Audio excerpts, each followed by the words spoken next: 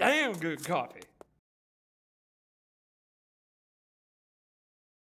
Hi, this is Janet, and I would like to show you how to change the connection point between clips in Final Cut Pro 10. Let's say I like where my music starts here on this project, but you can see that the connection point just happens to be the second clip in my sequence.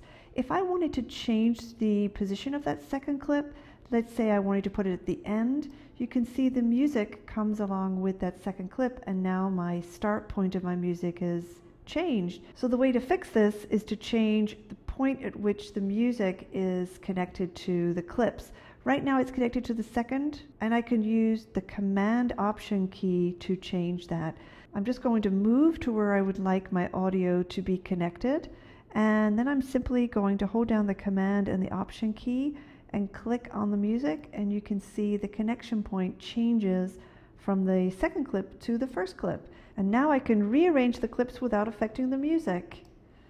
So Command Option is a great way to change the connection point of your clips in Final Cut Pro 10. This is Janet from Manhattan Edit Workshop. Thanks for listening.